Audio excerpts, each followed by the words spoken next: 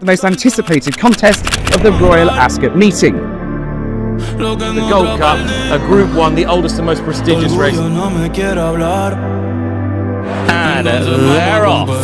Under Frankie, just proving the stronger, on the run for the line, and Coro Bonami! He's amazing, it's history in the making, what a way to go out.